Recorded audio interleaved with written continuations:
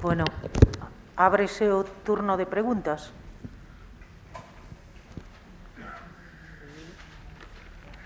Vale, pois, mentras alguén non pregunta, empezo eu ca primeira. Eh,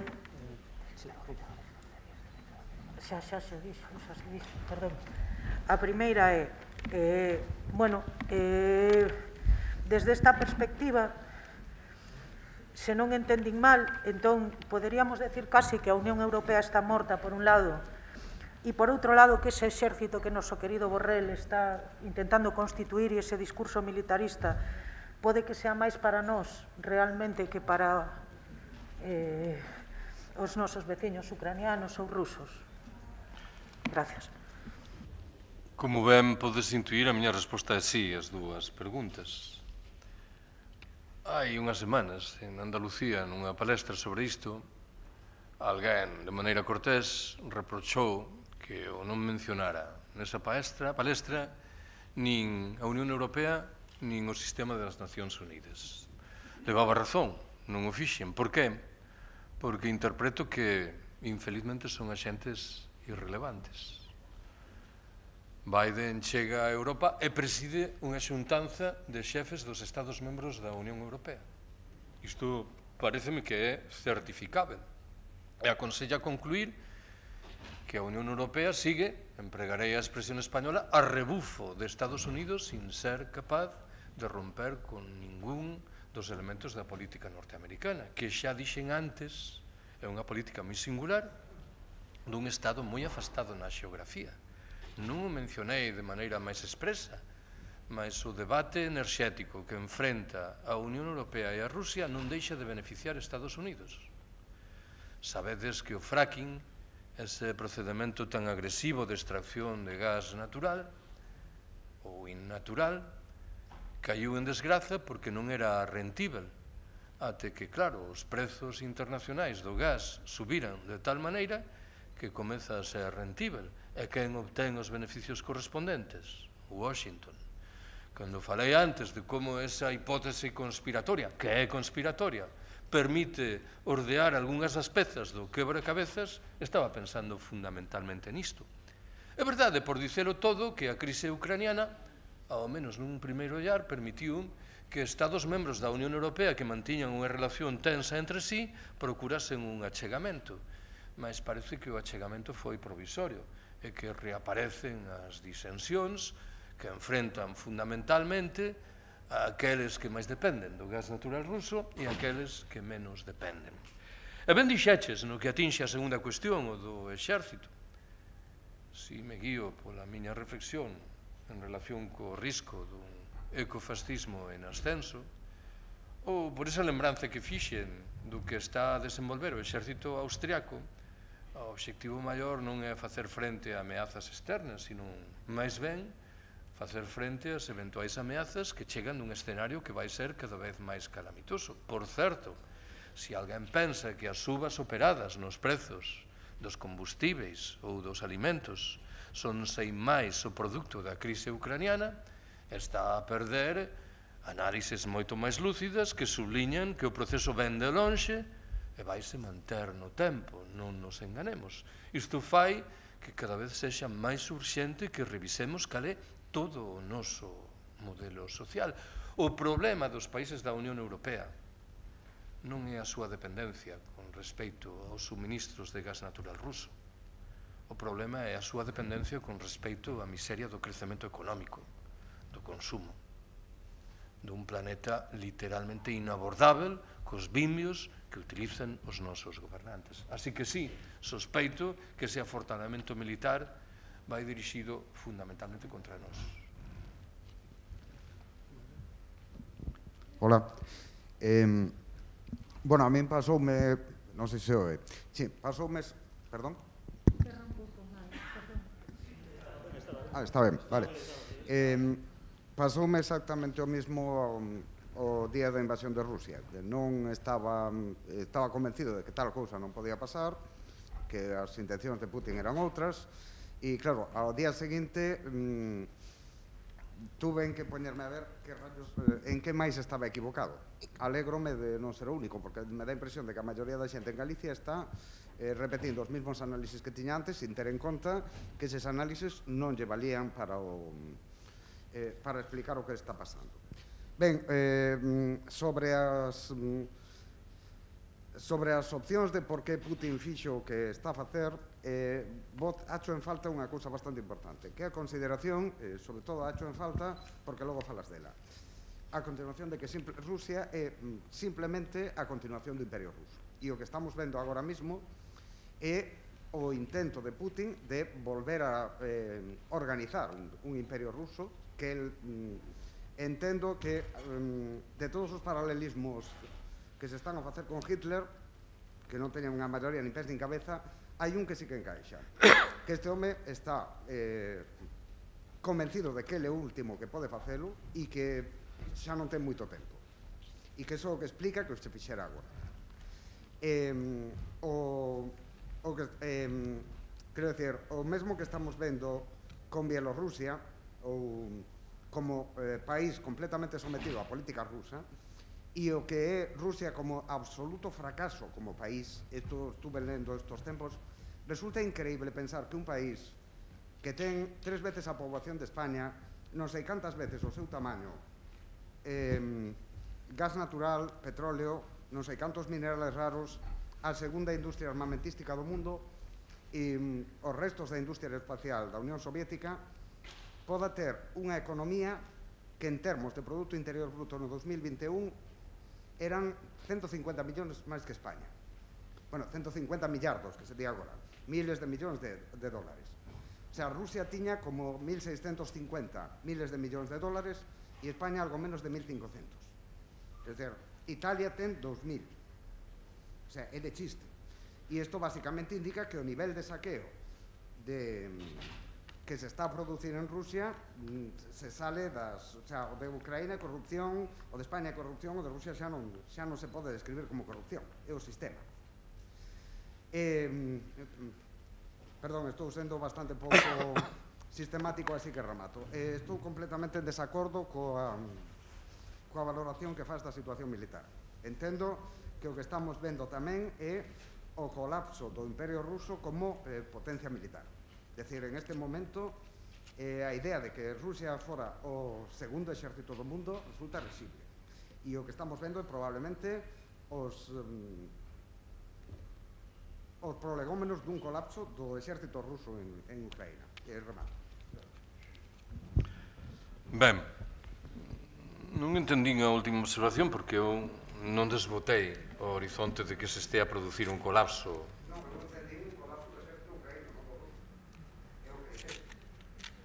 cando dixen que a posición do exército de Ucrania non é cómoda.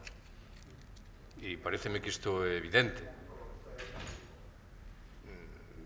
Non concordas con que a posición do exército ucraniano é incómoda?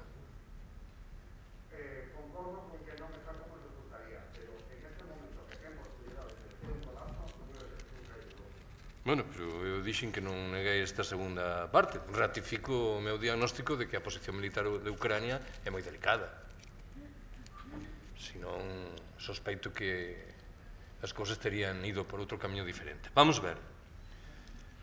Fago dúas observacións. A primeira sospeito que redunda en proveito das túas teses, a segunda non tanto. Hai unha confusión no que atinxe a relación do presidente ruso Putin co que foi a Unión Soviética. Putin ten saudade da Unión Soviética na dimensión imperial esta última. E considera que o seu país Rusia recuou de maneira pouco saudável en virtude de decisións que podían ter sido evitadas. Isto non carreta que Putin simpatífico que era a Unión Soviética no ámbito político, económico ou social, que son dúas cousas diferentes. De facto, hai unhas semanas dixo que Ucrania era unha criación dos comunistas, en singular de Lenin é unha declaración moi interesante para quen pensa que Putin é un comunista. Non? Digamos que obriga a facer aquí auténticas reviravoltas na análise dos factos e na ubicación de cada quen. Claro, Putin é un dirixente político, non esquezades, ben o sabedes, que financiou nos últimos anos a Frente Nacional na Franza ou o Mencer Dourado en Grecia. Isto obriga a concluir que a súa posición ten moito que ver co conservadurismo máis extremo en todo o planeta. Segundo, a ver, o que acontece que cando xulgamos as miserias de Rusia, por un lado eu estou na briga de dar a razón no que dixeches, mas por outro teño a obriga paralela de salientar a dureza extrema do escenario propio de Rusia, que obriga a algunha prudencia nas comparacións. En que estou pensando? O territorio europeo da Federación Rusa é un territorio desprotexido que asistiu históricamente á chegada dunha chea de povos con intencións pouco amigáveis procedentes da Asia Central. O mesmo aconteceu coas chairas centroeuropeas que non permitiron a chegada dos exércitos de Napoleón en 1812 e de Hitler en 1941. Frente a isto, cumpre salientar a condición de Estados Unidos, un país separado por dous xigantescos océanos das principais zonas de conflito do planeta. A historia non foi máis xenerosa con Rusia. Coñecedes o nome de algún país europeo que se conseguise manter a marxe de conflictos bélicos durísimos no século XX? Estados Unidos non ten acollido no seu territorio continental americano ningún conflicto bélico desde meados do século XIX. Esta é unha condición prácticamente inédita en Europa. Só se me ocorren dous estados europeos que poderían presumir do mesmo. Suiza, dunha banda, e, curiosamente, Portugal, que esquecemos. Portugal foi o escenario no seu territorio continental de asonadas, de golpes militares, máis non dun conflito bélico con destrucción en sentido forte. A climatoloxía foi singularmente dura tamén con Rusia. A maior parte do seu territorio está situado máis ao norte que a maior parte do territorio norteamericano, de tal maneira que Rusia non se pudo beneficiar da diversificación económica e comercial que beneficiou os Estados Unidos, o réxime dos ríos, A maioría dos ríos norteamericanos importantes discorren de oeste a leste ou de norte a sul, de tal forma que desembocan en mares cálidos e puideron ser aproveitados de maneira vantaxosa no ámbito comercial. A maioría dos ríos rusos importantes discorren en trocas de sul a norte, desembocan no océano glacial ártico, de tal forma que o seu emprego económico e comercial foi menor debemos contabilizar todos estes dados. Eu non sento ninguna simpatía nin polo Imperio Zarista, nin pola Unión Soviética, nin pola Rusia putiniana. Mas pareceme que ás veces as comparacións reclaman de ferramentas máis exixentes, aínda que non desvoto o bon sentido da reflexión xeral que propuxeches. Claro, habería que preguntarse si esta mixeria lacerante que caracteriza a vida rusa dos últimos 30 anos é produto sen máis da condición dos gobernantes do país ou ten algo que ver coa política das potencias occidentais. E temome que isto segundo non é desbotável en forma ningunha. De tal maneira que eu considero que, sin vontade de rexeitar que os dados que empregaxe son certos, as súas causas poden ser máis complexas do que eu entendín que ti suxerías.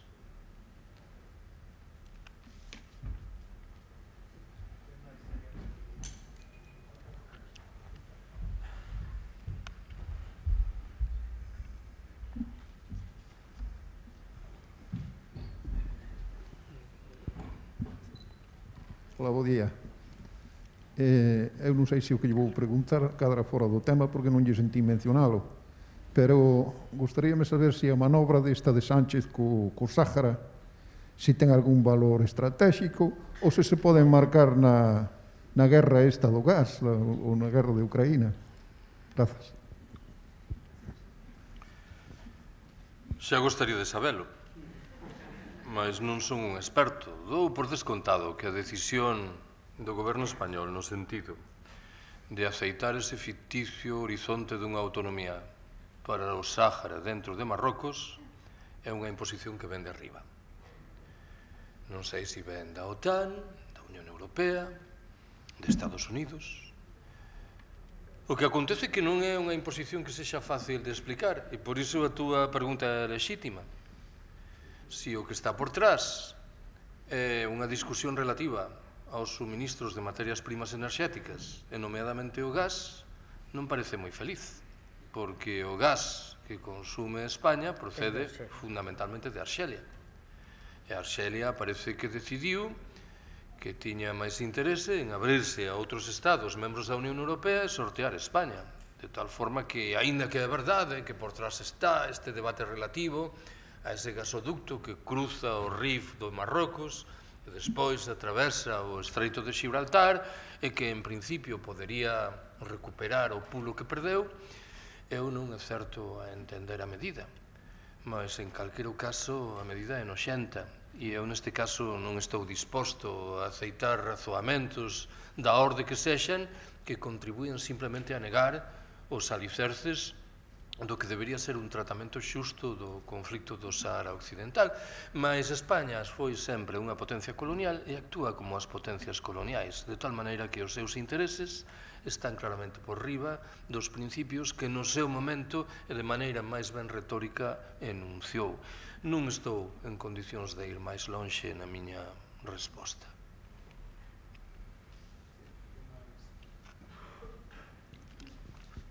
Sí. Bueno, boas días. Eh, teño unha pregunta que non sei moi ben como explicar porque un dame un pouco de... Non sei se os meus coñecementos tampouco serán demasiado nisto, como ti ben dicías, e se o dices ti, imagina tamén coa edade que teño sobre todo. Eh, básicamente, a min preocúpame e interésame as novas soberanías populares, xa sexan as novas soberanías populares, xa sexan, por exemplo, a galega, Cataluña, o Sáhara, indo máis lexos Palestina, todas estas cousas. E, ao principio, comezo da miña vida estudiantil, pensaba un pouco como Marx no sentido da unión da forza, e pensaba, bueno, pois cousas como Europa pois deberían ser boas, cousas como Europa deberían ser boas porque é unha unión, diferentes unións regionais como a ASEAN ou este tipo de cousas, pero logo na práctica non funcionan idealmente. Entón, A OTAN, por exemplo, supónse que pola seguridade de, do norte, do hemisferio norte atlántico, pero logo, por exemplo, a Rusia non se lle deixou participar. Ou sempre hai como reticencias a negociacións e todo isto.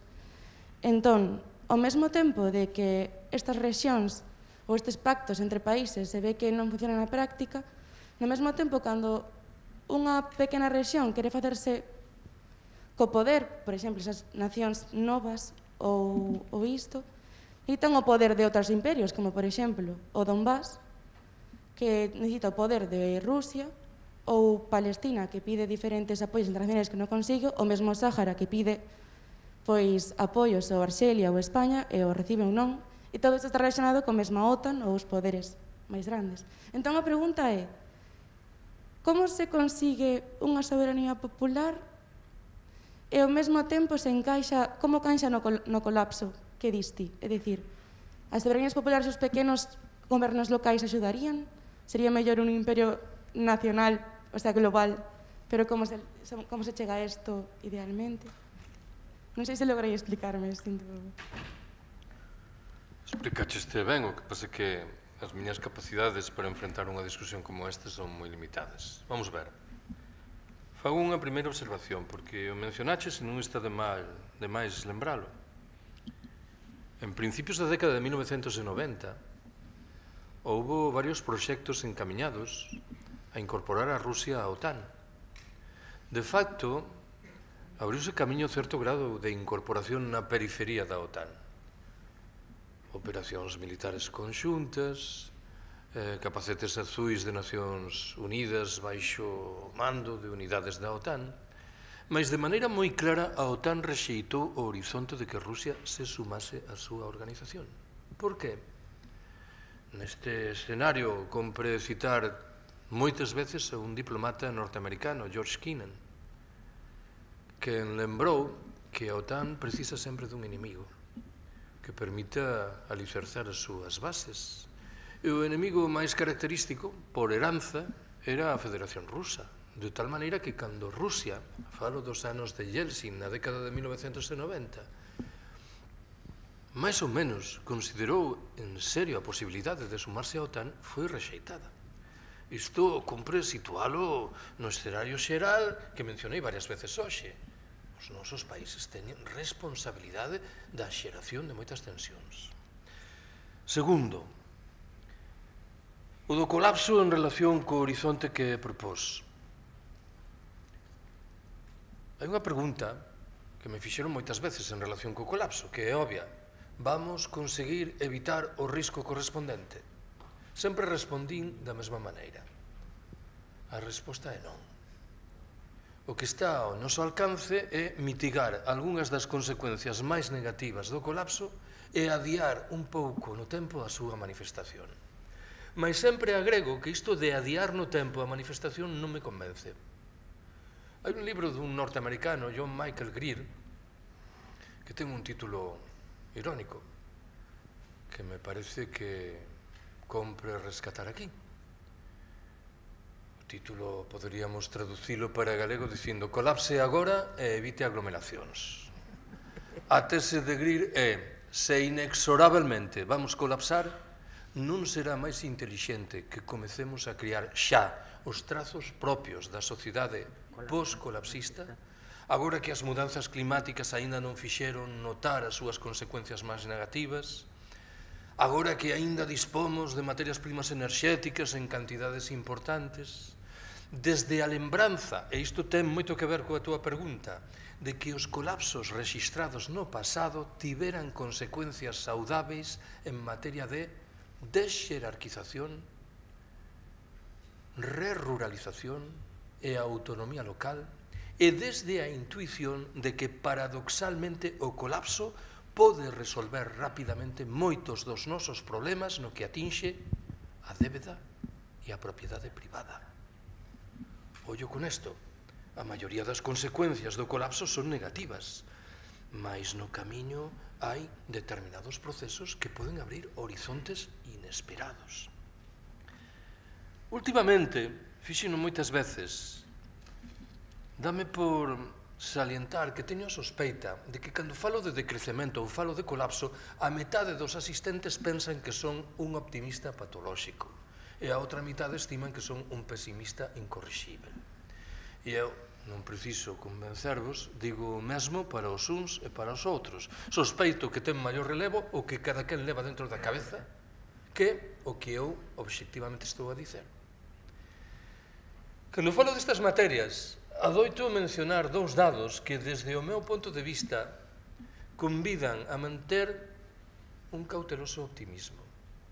O primeiro desos dados refírese a algo que pode revelarse nos países ricos do norte.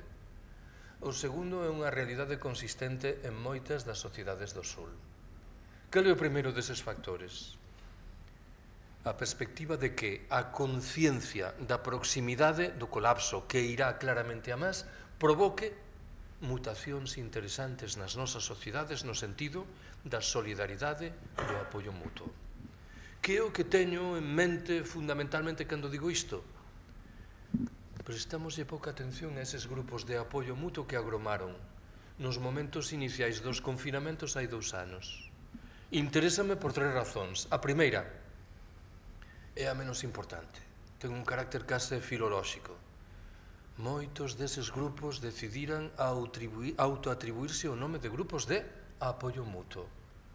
É o nome que se incorpora a un libro maravilloso de Kropotkin, no que demostra empíricamente que hai moi numerosos e moi consistentes exemplos de especies animais que progreden a través da cooperación e da solidaridade, e non de resultas da competición máis feroz, do cobazo máis descarnado. A segunda razón ten máis peso. Desde o meu punto de vista, e admito que o meu coñecemento é limitado, na maioría deses casos, eses grupos foron artellados por xente común e non por activistas hiperconscientes de movimentos sociais críticos. Era a xente común plenamente consciente das miserias que marcaban a vida cotidiana dos seus veciños. A terceira e última razón enuncia unha obviedade. Neses grupos de apoio mutuo as mulleres estaban claramente en posición de preeminencia. Cando o que está no medio é a preservación da vida, as mulleres están un paso por diante. Cal é o segundo motivo que anunciei que agoira un relativo optimismo? En moitas sociedades dos países do sul perviven culturas precapitalistas que se negan a aceitar a lógica mercantil promovida polo capital e que intuo eu que en moitos escenarios están a, xunir, a xuntarse con proxectos anticapitalistas. Isto é o que desde o meu punto de vista acontece desde hai 25 anos en Chiapas, no México, ao abrigo do zapatismo desde hai menos anos enrollaba esa faixa de territorio mayoritariamente poboada, poboada por curdos situada no norte da Siria, ao abrigo do que chaman o confederalismo democrático. Neses dous casos agromaron economías autoxestionario cooperativas que recean da institución Estado, que rexeitan o que significan o capitalismo liberal e o socialismo de cuartel, que colocaran no miolo do proxecto de emancipación as mulleres, que mostran unha teima encamiñada a preservar sabidurías ancestrais e que revelan unha vontade de manter unha relación fluente e civilizada coa natureza.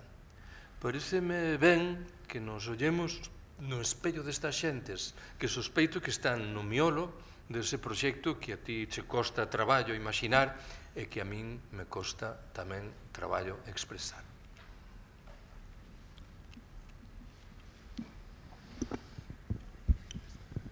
Por aí arriba.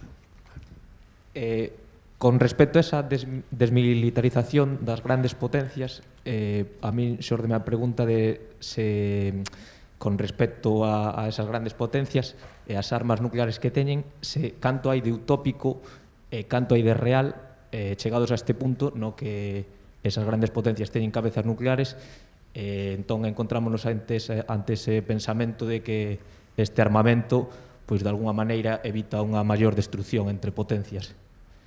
Sería un pouco a pregunta. O problema das armas nucleares é que evitan ese risgo até que deixan de evitalo.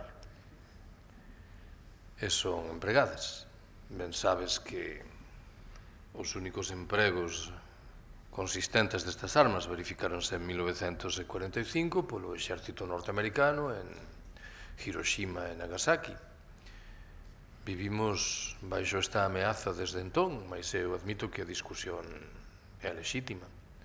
A non presenza desas armas teria provocado traxedias maiores.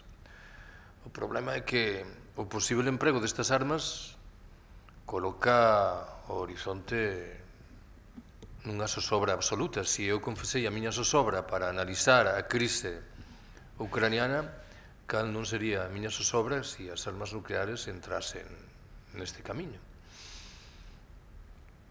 Supoño que non vai acontecer. A verdade é que hai unhas semanas o ministro ruso de Asuntos Exteriores, Sergei Lavrov, anunciou que a Terceira Guerra Mundial sería nuclear entendo que era retórica bélica que foi respondida en termos infelizmente similares por voceiros dos gobernos occidentais, mas ese mesmo día persoas do Ministerio Ruso de Asuntos Exteriores desmentiron a posibilidade de empregar este tipo de armas.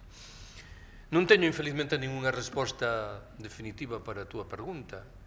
O que acontece que nos movemos entre dous fíos dunha navalla ou aceitamos que a presenza desas armas é saudável porque limita os riscos, ou consideramos seriamente que o seu posible emprego acrecenta espectacularmente os riscos.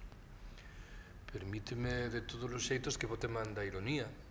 Na década de 1990, os que sodes máis veteranos e veteranas lembraredes que se asinaron moitos acordos de control de armamentos entre primeiro a Unión Soviética, despois Rusia e Estados Unidos.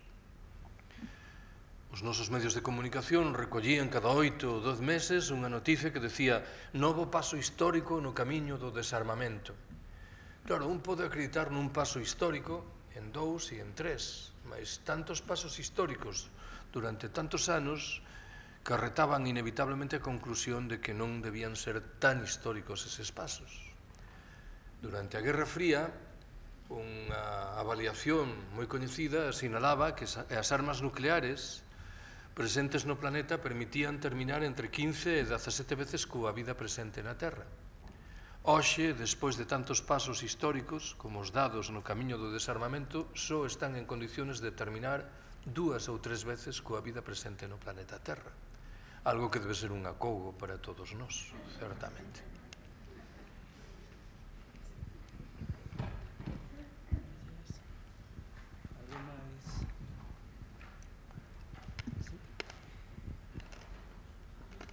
por ahí arriba.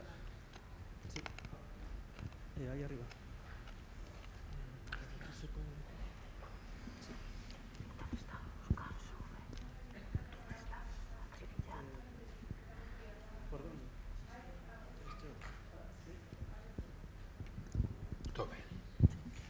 Bueno, primeiro quería darlle as gracias e felicitalo polo, pola claridade e o análisis riguroso de, que fixo na súa conferencia. Eh, quería, eh, eh eu teño unha duda, a ver se me podo aclarar. A OTAN non é un exército de ocupación do planeta.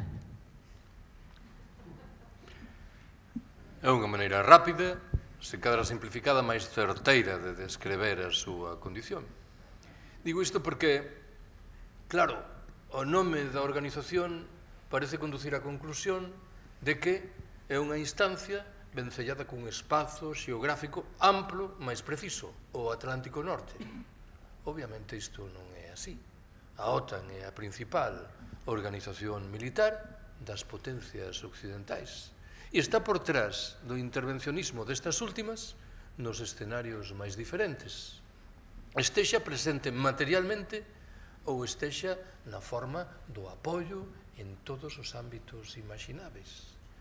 Isto obriga a situar por empregar un concepto asimilável ao teu a OTAN na lógica do imperialismo e do colonialismo tradicionais. Por moito que a habilidade retórica dos seus responsáveis contribuíra ás veces a xerar a imaxe de que é unha organización moi vencellada cun espazo xeográfico limitado, Isto é como a, globalización. Eu dixen moitas veces que o propósito maior da globalización é xerar un paraíso fiscal de escala planetaria, en virtude do que os capitais, e só os capitais, poidan moverse sen pexas en todo o planeta, acantoando os poderes políticos tradicionais e desentendéndose de calquera consideración de carácter social, ecolóxico ou humano. Alguén dirá, Isto dun paraíso fiscal de escala planetaria non é unha contradictio in terminis? Pois sospeito que non. O que queren é recrear en todo o planeta as regras de xogo propias dos paraísos fiscais que sabedes son, por definición, pequenos territorios, arquipélagos. A OTAN xoga co mesmo tipo de categorías. E entendo que a túa maneira de descrevela é como pouco lexítima.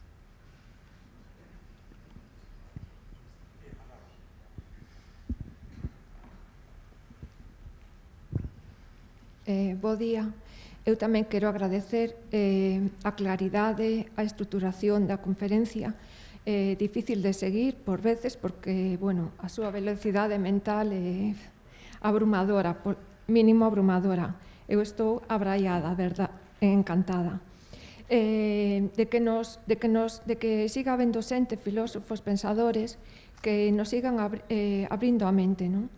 Eh, mm, e hai Hai 38 anos, eu como estudiante de bacharelato, eh, estamos na primeira semana de acudimos a como alumnado dos do, do centro que, que bueno, donde se iniciou esta semana da filosofía, acudimos aí a esa inauguración e as charlas, as conferencias e todo eso. Eu me quedei sempre eh, con palabras como colonialismo, que estábamos eso, en, íbamos hacia unha sociedade deshumanizada, efectivamente, pero é que eu, no meu entorno eh, interno, eu xa observaba eso. No entorno social igual, fui medrando, fui formándome, eh, e o sigo mirando, non? Entonces, e o sigo sufrindo. Entonces, eh, eu o co que me quedo é con, con estas des que, que falou vostede, non? Para do descrecemento, do desurbanización, da despatriarcalización, de descomplexizar, de desmilitarizar, eh, efectivamente ir a, hacia unha sociedade do cuidado, unha sociedade do ecofeminismo, non? que parece que eso, pois sí, está aí, pero bueno, xa ten un día ou ten dous, esa está, non? Pois non. A humanización da sociedade ten que partir desde o interno hacia o externo. Entonces, pois eh, que sí, que a OTAN pois é o exército universal, pois sí.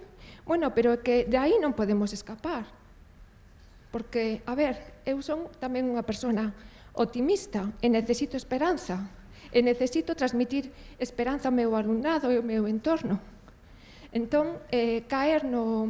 O sea, saber eh, analizar da maneira magistral que o fixo eh, o mundo onde estamos, onde estuvemos, non hai en 54 anos que son os que teño eu, non ves un gran, un gran avance de humanización. O sea, son é o mesmo, máis ou menos as mesmas circunstancias, distintos protagonistas. Pero a OTAN, a, OTAN, a ONU, a Organización Mundial da Saúde, o tema do virus, de todo, isto, o sea, Vale, pois agora é o virus, antes foi a gripe A, e xa sabemos que non son virus naturais, e, e bueno, non sei. A pregunta é, eh, como encarar o noso futuro? Que esperanzas dar a nosa, a nosa xuventude? Bueno, supoño que haberá que dar esperanzas á xuventude e a que non son tan novos. A ver, eu entendo que O que se abriu camiño no planeta nas últimas décadas non facilita o optimismo, mas ben o que se foran pechando foran horizontes alternativos. Hai uns minutos, tentando responder unha pregunta, dixen, porén, que o que nunha primeira ollada é unha traxedia, o colapso, ben pode ser unha fonte de criación de proxectos alternativos. Permite que subliño que dixen no final da miña análise, dixen o colapso pode resolver moitos dos problemas de hoxe en materia de débeda e de propiedade privada. Por qué? Porque o colapso, por definición, se vai traducir nun debilitamento manifesto de moitas das estruturas de poder, que son estruturas que dependen de enerxías e de tecnoloxías que, por definición, teñen que chegar de lonxe e que van ser escasas. Isto vai abrir, desde o meu punto de vista, no escenario da traxedia, posibilidades inéditas. Recomendo vos, alén diso, encarecidamente a leitura dun libro dunha xornalista norteamericana chamada Rebecca Solnit. Na súa versión española o libro intitúlase Paraísos en el infierno. É un estudo relativo a como en escenarios de catástrofe, de traxedias, maremotos, terramotos, incendios salvaxes, os bombardeamentos alemáns sobre Londres durante a Segunda Guerra Mundial, os atentados de Nova York e de Washington, a xente común reaxe con enorme inteligencia, con alegría e con unha capacidade solidaria absolutamente sorprendente. E quen demostra o contrario son os responsáveis políticos, as xentes que están arriba. Para dicero todo, admitirei que a única parte fraca da tese de Solnit é que non está claro que é o que acontece cando desaparece o escenario da traxedia e a situación recupera certa normalidade. Non será que no escenario da normalidade reaparecen as miserias que caracterizan a nosa vida cotidiana. Admito que o debate está aí. Eu, en calquera caso, teño que acreditar na xente común. Permíteme que subliñe a forma verbal que empreguei. Non estou a dicer francamente que acredite, digo que teño que acreditar, porque senón o que estou a defender non ten ningún sentido. Mas a miña experiencia cotidiana todos os días pasa por encontrar xente maravillosa que rompe coas regras autoritarias dun sistema profundamente inmoral e injusto. E isto obriga a manter certa esperanza, certa confianza, na certeza de que nos países ricos do norte non o temos fácil. Por que? Porque esas culturas precapitalistas que mencionei antes morreran hai varias décadas. De tal forma que o seu influxo sobre as nosas cabezas e as nosas conductas é moi limitado. Mais, volvo ao que dixen, non desbotemos a posibilidade de que a conciencia do achegamento do colapso provoque mudanzas interesantes na nosa conducta cotidiana. Non estamos tan mortos como un primeiro ollar invitaría a concluir.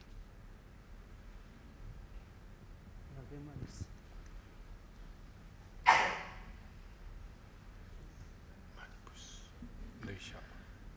Perdón.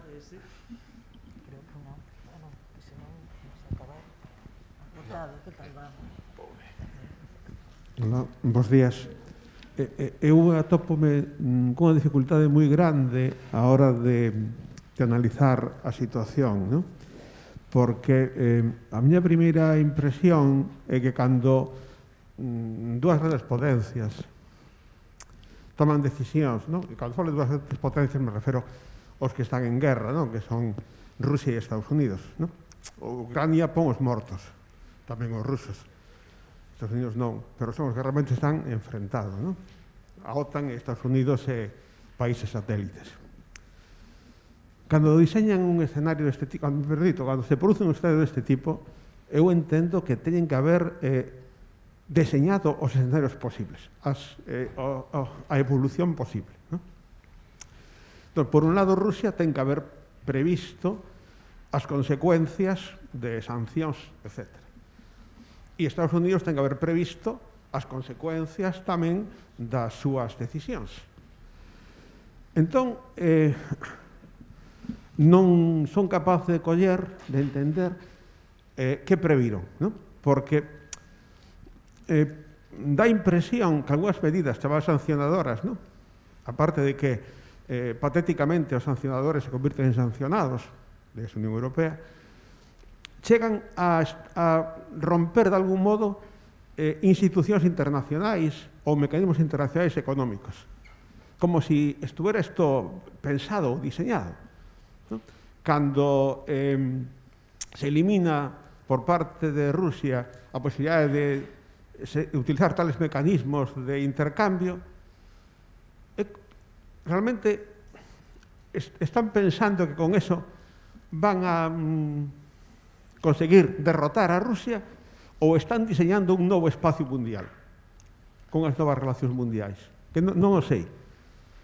E, segunda parte, con isto acabo non, a pregunta, e isto non ten nada que ver co declive estadounidense e o ascenso chino, e non é, de algún modo, tamén, digamos, hai outro contendente que está aí e que non está tampouco á vista, non? na medida en que atacar a Rusia e atacar Oriente, que está sendo o, digamos, o, eh, o novo sistema mundo que está que está a piques de sustituir o bello sistema mundo norteamericano.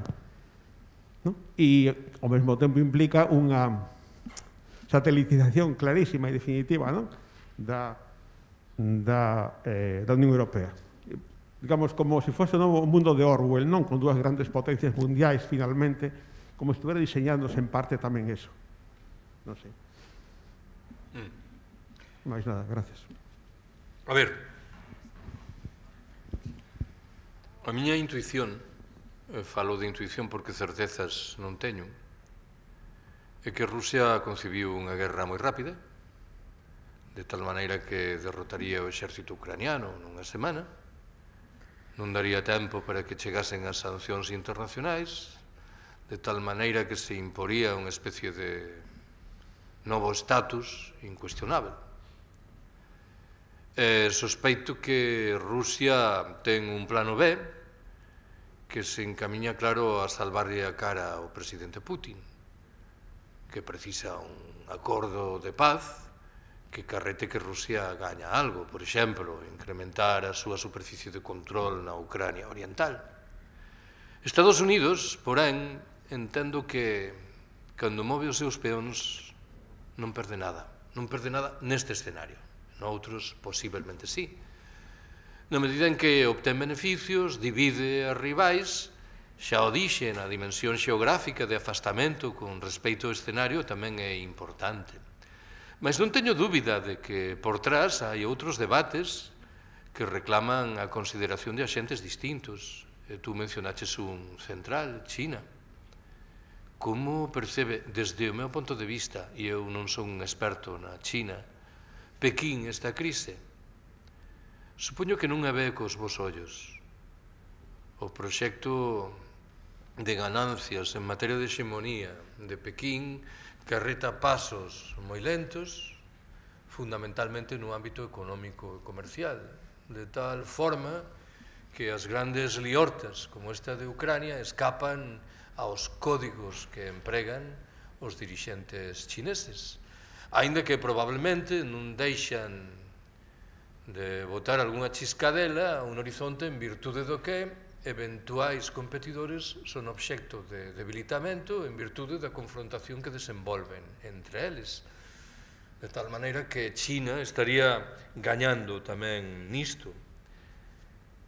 Alén de todo o anterior, creo que A miña resposta carreta un problema grave, e é que, cando falamos destes grandes procesos e identificamos os suxeitos que os protagonizan, utilizamos nomes de países, de estados. E isto fai que se dilúa por completo a condición das xentes que estamos por baixo dos estados. E este é un dos motivos fundamentais de sosobra no meu caso. Eu defendo en Ucrania e en Rusia os desertores Procuro tecer lazos coas xentes que loitan neses dous países contra os poderes respectivos. Mais a miña posición é extremamente minoritaria, porque o fluxo fundamental é o outro, o que atravesa os nosos medios de comunicación e que considera que a efeitos de contabilizar o que está a acontecer no planeta é suficiente con mencionar nomes de estados que agochan, claro, intereses que desde o meu punto de vista son rexeitáveis en todos os casos. Non sei se preciso subliñar isto, a política chinesa en África é tan noxenta como a política colonial desenvolvida polas potencias occidentais desde o século XVI.